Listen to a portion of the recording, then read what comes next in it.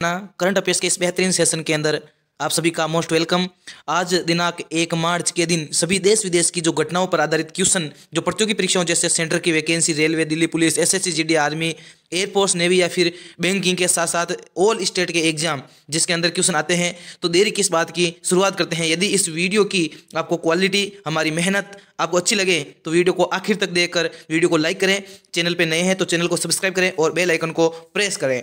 Session की शुरुआत करते हैं क्वेश्चन नंबर एक से और क्वेश्चन नंबर एक, देखिए मैं आपको पहले कंटेंट बता देता हूँ। हम पहले, सबसे पहले करवाते हैं रिवीजन और रिवीजन के बाद हम करते हैं क्वेश्चन दस क्वेश्चन लिए हैं हमने और दस क्वेश्चनों का पूरा एनालिसिस करेंगे। हर ऑप्शन का इसके अंदर डिटेल के अंदर पढ़ेंगे, हर ऑप्शन डिटेल के अंदर पढ़ेंगे, और क्वेश्चन नंबर दो लिया है, इसकी डिटेल्स डाली हैं, और हर ऑप्शन की यहाँ पे हम चर्चा करने वाले हैं, ठीक है ना? जैसे कोई स्टेट आ गया, जैसे यहाँ पे आ गया स्टेट स्टेट की बात करें तो सिक्किम, इसका सही आंसर जैसे सिक्किम है तो इसके बारे में, सिक्किम के बारे में पूरा मैप जो मैप रोड है, वो हम लेके आए हैं, और सिक्किम से जो करंट अफेयर्स हैं, वो भी हमने यहाँ पे मैंशन किए हैं, जो इस साल के इर्द गिर्द बने हैं, ठीक है ना? इस माह के इर्द गिर्द बने हैं, उनको यहाँ पे लिया है, और जो क्वेश्चन सभी लिए हैं, वो यहाँ पे बेहतर क्वेश्चन होने वाले हैं तो अब शुरुआत करते हैं क्वेश्चन एक से इससे पहले जो कल उनतीस मार्च का रिवीजन तो देखिए फरवरी 2024 में किस देश को F A T A financial action task force की वित्तीय अपराध निगरानी सूची से हटा दिया है तो वो हटाया है संयुक्त अरब अमीरात। यूएई को एफ़ ए टी एफ़ की वित्तीय अपराध निगरानी सूची से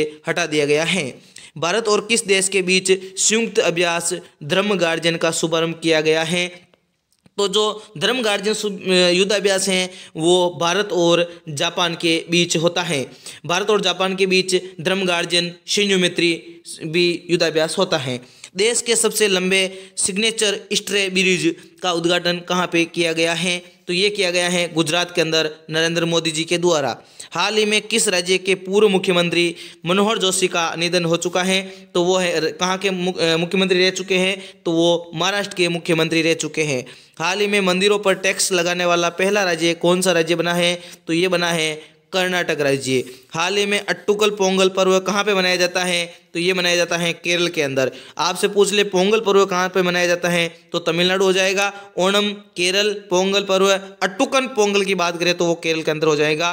केरल के अंदर ओणम पर्व भी मनाया जाता है। यहाँ पे जो सबरीमाला मंदिर है, वो भी कहाँ पे स्थित है? वो भी केरल के अंदर स्थित है। ठीक है ना? सॉरी के, केरल के अंदर तिरुवनंतपुरम की इसकी राजधानी हो जाएगी और उसकी डिटेल भी हम आगे पढ़ेंगे। हाल ही में केंद्रीय मंत्री धर्मेंद्र प्रधान ने राष्ट्रीय उद्यमिता विकास परियोजना का उद्घाटन कौन से राज्य में किया गया है? तो ये किया गया है ओडिशा के अंदर। कहाँ पे किया गया है? ओडिशा के अंदर किया गया है धर्मेंद्र प्रधान के द्वारा। भारत का सबसे बड़ा हरित हाइड्रोजन उत्पादन केंद्र कहाँ पे स्थापित किया जाएगा? तो ये स्थापित किया जाएगा विशाखापट्टनम के अंदर। पाकिस्तान के नए प्रधानमंत्री कौन होंगे? तो वो होंगे शहबाज शरीफ। अब शुरुआत करते हैं क्वेश्चन एक से। हाल ही में भारत टैक्स 2024 का उद्घाटन कहाँ पे किया गया है? तो भारत टैक्स 2024 का उद्घाटन कहाँ पे किया गया है? तो ये किया गया है दिल्ली के अंदर। कहाँ पे किए गए हैं दोस्तों? इसका सही आंसर हो जाएगा दिल्ली। भारत टैक्स 2024 का उद्घाटन दिल्ली के अंदर किया गया है। देखिए 26 फरवरी को प्रधानमंत्री नरेंद्र मोदी जी के द्वारा नई दिल्ली में स्थित भारत मंडपम, जहाँ पे क्या हुआ था? जहाँ पे जी ट्वेंटी का सम्मेलन हुआ था। भारत मंडपम के अंदर जी ट्वेंटी का सम्मेलन हुआ था। वहीं पे देश के सबसे बड़े टेक्सटाइल इवेंट में भारत टेक्स 2024 का उद्घाटन किया गया है। ये इवेंट ग्लोबल लेवल पर सबसे बड़ा कपड़े का इवेंट है। कपड़े का सबसे बड़ा इवेंट है। इसमें सौ से अधिक देशों ने भाग लिया है और इसका उद्देश्य है इंटरनेशनल ऑडियंस के सामने ब्रांड इंडिया का प्रेजेंट करना। क्या है? तो वो हो जाएगा इंटरनेश जो इंटरनेशनल ऑडियंस है, उनके सामने ब्रांड इंडिया का प्रजेंट करना। ठीक है ना? रायसीना डायलॉग दिल्ली की बात करें तो हम देखो यहाँ पे ही हुआ था रायसीना डायलॉग 2024 रायसीना डायलॉग 2024 खेलो इंडिया पैरा गेम्स, देखो अलग अलग बात करें, जैसे दिल्ली के अंदर कौन सा? खेलो इंडिया पैरा गेम्स आयोजन हुआ था दिल्ली के अंदर, और इसका जो शुभंकर था, वो था उज्ज्वला। क्या था? उज्ज्वला। इस, और इसके अंदर हरियाणा टोपेरा था।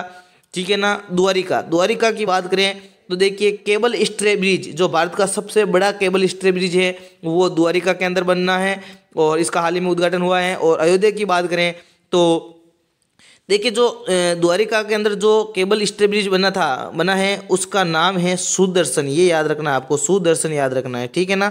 अयोध्या की बात करें तो राम मंदिर का उद्घाटन हुआ था अभी हाल ही में।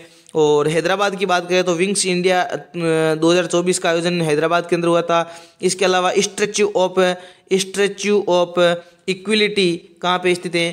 तो ये रामा ये हैदराबाद के अंदर है और रामानुजाचार्य जी की हैं। ठीक है ना? क्वेश्चन नंबर दो। भारत के पहले सेप्टिक टैंक सफ़ाई रोबोट का क्या नाम है? तो भारत का पहला सेप्टिक टैंक सफ़ाई रोबोट, ये आप देख सकते हो इमेज के अंदर और उसका नाम है होमोसेप एटम। क्या नाम है? होमोसेप एटम इसका नाम है। सुदर्शन की बात करें तो ये S four hundred, S four hundred missile हैं। एस फोर हंड्रेड मिसाइल हैं। हेल्थ वे की बात करें तो ये रूप साइक्लिन ट्रैक हैं। रूप साइक्लिन ट्रैक का नाम क्या है? हेल्थ वे क्या नाम है? हेल्थ हेल्थ वे सूर्यांशु क्या है? तो ये केरल के अंदर हैं और ये सौ प्रतिशत सौ प्रतिशत सौर ऊर्जा चला चालित बोट हैं। सौ प्रतिशत सौर ऊर्जा चालित बोट हैं। आईआईटी मद्रास ने भारत के पहले सेप्टिक टैंक रोबोट का होमोसेप एटम का यहाँ पे शुरुआत की है। भारत का पहला सेप्टिक टैंक सफ़ाई रोबोट, जिसका नाम होमोसेप एटम है, का उद्देश्य देश भर में मेला ढोने की प्रथा को खत्म करना और स्वच्छता अभियान को बढ़ावा देना इसका प्रमुख उद्देश्य है। क्वेश्चन नंबर तीन, हाल ही में विश्व व्यापार संगठन डब्ल्यू वर्ल्ड ट्रेड ऑर्गेनाइजेशन का तेरहवा मंत्री स्तरीय सम्मेलन कहाँ पे आयोजित हुआ? तो ये कहाँ पे आयोजित हुआ? ये हुआ है आबू धाबी के अंदर। कहाँ पे? आबू धाबी के अंदर। कब? तो 26 फरवरी 2024 को यूनाइटेड अरब अमीरात की राजधानी अबू धाबी के अंदर इसका आयोजन किया गया है। बात करें डब्ल्यू की तो डब्ल्यू की डब्ल्यू के अंदर भारत के स्थायी राजदूत कौन है? स्थायी राजदूत कौन है डब्ल्यूटीओ के अंदर? तो वो हैं, अभी हमने पढ़ा था, अभी नियुक्त हुए थे सांथियान पांडियन। कौन? सांत्यान पांडियन अभी नियुक्त हुए हैं, ठीक है डब्ल्यू के अंदर भारत के स्थायी राजदूत। जेनेवा की बात करें तो W H O world health organisation की बैठक कहाँ पे जेनेवा के अंदर आयोजित हुई? दावोस की बात करें तो देखिए डब्ल्यू ई एफ़ वर्ल्ड जो वर्ल्ड इकोनॉमिक्स फोरम है इसकी बैठक कहाँ पे आयोजित हुई? तो दावोस के अंदर कजान रूस के अंदर किसका ब्रिक्स का सम्मेलन हो रहा है? 2024 का, ठीक है ना? 2024 का ब्रिक्स का सम्मेलन दावोस के अंदर। देखिए, विश्व व्यापार संगठन डब्ल्यू का तेरहवा मंत्री स्तरीय सम्मेलन 26 फरवरी को यूएई की राजधानी अबू धाबी के अंदर शुरू किया गया है और उनतीस फरवरी तक ये चलेगा। कई देशों के अर्थव्यवस्था, व्यापार और विकास मंत्री और वैश्विक आर्थिक और व्यापार संगठनों के प्रतिनिधि इसमें हिस्सा ले रहे हैं। सम्मेलन की जो अध्यक्षता है, वो यूएई की के विदेश व्यापार राज्य मंत्री और डब्ल्यू के तेरहवें मंत्री स्तरीय सम्मेलन के अध्यक्ष सानी जयोदी ने की है।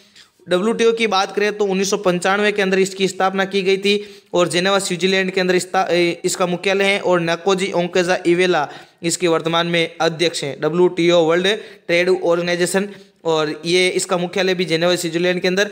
देखिए एक डब्ल्यू है वर्ल्ड टूरिज़्म ऑर्गेनाइजेशन एक है वर्ल्ड ट्रेड ऑर्गेनाइजेशन तो ये आपको याद रखना है ठीक है ना? ये व्यापार वाला है ये आ, कौन सा हो जाएगा? पर्यटक वाला हो जाएगा। क्वेश्चन नंबर चार देखिए, हाल ही में प्रधानमंत्री नरेंद्र मोदी जी ने किस राज्य के पहले रेलवे स्टेशन रंगपो स्टेशन की आधारशिला रखी है? तो रंगपो रेलवे स्टेशन कहाँ पे? तो ये सिक्किम के अंदर। कहाँ पे दोस्तों? सिक्किम के अंदर। बात करें हम सिक्किम का नाम आया है तो देखिए, जैविक खेती जैविक खेती करने वाला सबसे पहला राज्य, सौ प्रतिशत जैविक खेती करने वाला जो पहला राज्य है, वो सिक्किम है। ओल्ड पेंशन स्कीम को वापस से लागू करने वाला सिक्किम राज्य पूर्वोत्तर का पहला राज्य है।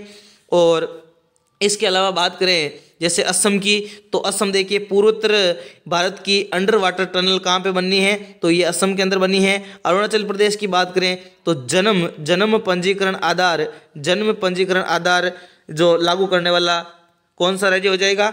ये जन्म पंजीकरण लागू करने वाला हो जाएगा यहाँ पे नागालैंड, ठीक है ना?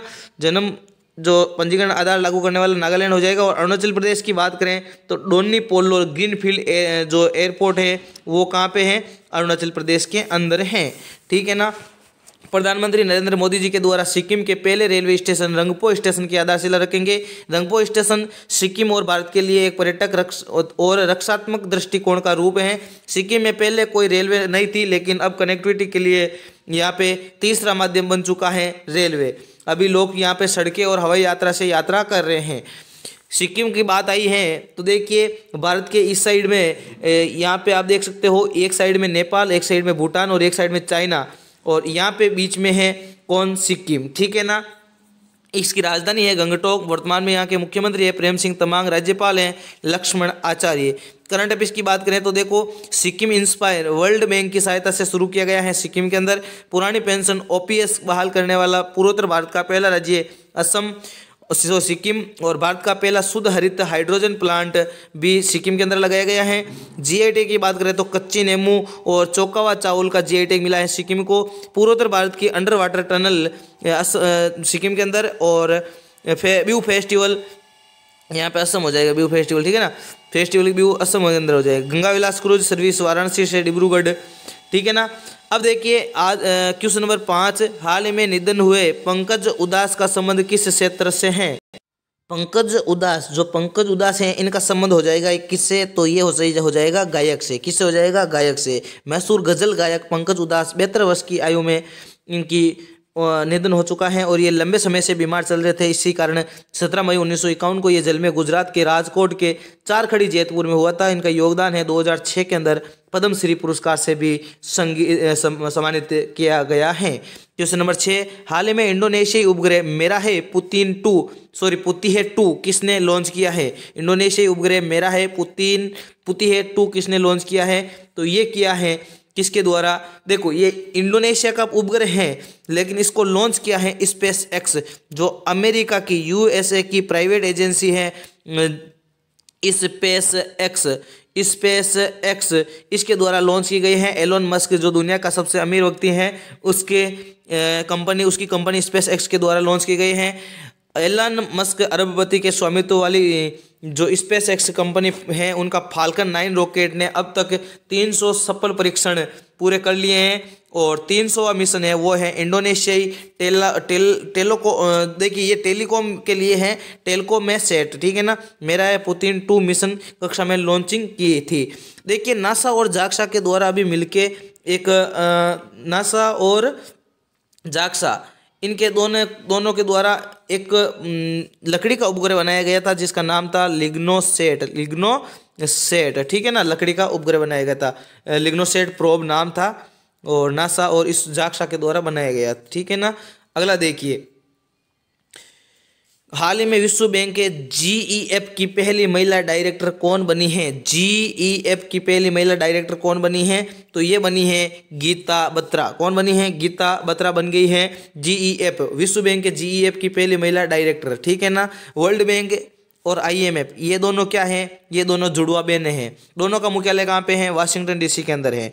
देखिए, इनकी स्थापना उन्नीस सौ चौवालीस के अंदर और इसका जो फॉर्मेशन है 1945 के अंदर हुआ था, ठीक है ना? देखिए दोस्तों, गीता गोपीनाथ। गीता गोपीनाथ कौन है? तो ये है आईएमएफ के अंदर एमडी आईएमएफ के अंदर एमडी इंटरनेशनल मॉनेटरी फंड के अंदर मैनेजिंग डायरेक्टर है। ठीक है ना? अंशुला कांत की बात करें तो ये world bank WB world bank की सीएफओ ठीक है ना? सीएफओ है। और कमला हैरिस कौन है? तो ये उपराष्ट्रपति हैं। कहाँ की? अमेरिका की। ठीक है ना? अमेरिका की उपराष्ट्रपति हैं। देखिए, अगला गुलमर्ग में आयोजित खेलो इंडिया विंटर्स गेम्स 2024 में टॉप पे कौन रहा? तो गुलमर्ग में जो आयोजित हुए थे खेलो इंडिया विंटर्स गेम्स 2024 उसके अंदर कौन रहा टॉप पे? तो ये रहते हैं हमारी भारतीय सेना। गर्व से कहते हैं हम हमारी भारतीय सेना विंटर्स गेम 2024 के अंदर टॉप पे रही। अल्पाइन स्केयर, वो भी वो भी पांडे ने गुलमर्ग में खेलो इंडिया विंटर्स गेम्स 2024 में स्वर्ण पदक जीता और 10 पदक, स्वर्ण पदक के साथ सेना की शीर्ष पदक तालिका में स्थान हासिल किया। सेना और कर्नाटक के बाद महाराष्ट्र तीसरे स्थान पे था। सेना एक नंबर पे, दो नंबर पे कर्नाटक, तीसरे नंबर पे महाराष्ट्र। ठीक है ना? चलो, अगला क्वेश्चन देखिए। हाल में विश्व एनजीओ दिवस 2024 कब मनाया गया? एनजीओ दिवस कब मनाया गया? तो ये मनाया गया है सत्ताईस फरवरी को। कब मनाया गया है? सत्ताईस फरवरी को। उद्देश्य क्या है? लोगों को एनजीओ के भीतर अधिक सक्रिय रूप से शामिल होने के लिए प्रेरित करना और अब की बार की जो एनजीओ की थीम है, वो है एक सतत भविष्य का निर्माण, सतत विकास लक्ष्यों, एसडीजी को प्राप्त करना एनजीओ की भूमिका। ठीक है ना? देखिए, अट्ठाईस फरवरी को कौन सा दिवस है?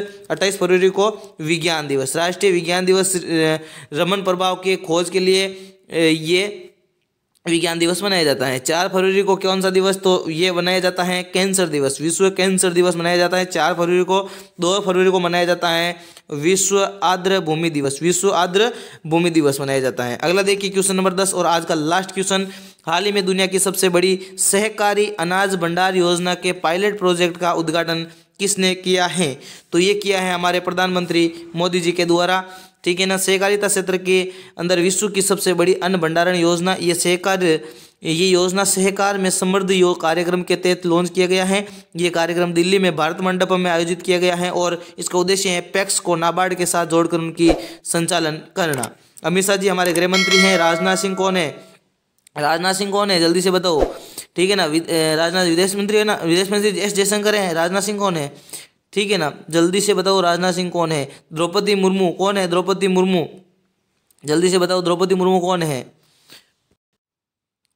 तो राष्ट्रपति हो जाएगी द्रौपदी मुर्मू, राष्ट्रपति हो जाएगी द्रौपदी मुर्मू और जो हमारे राजनाथ सिंह है, वो कौन हो जाएँगे? सड़क एक एवं परिवहन मंत्री।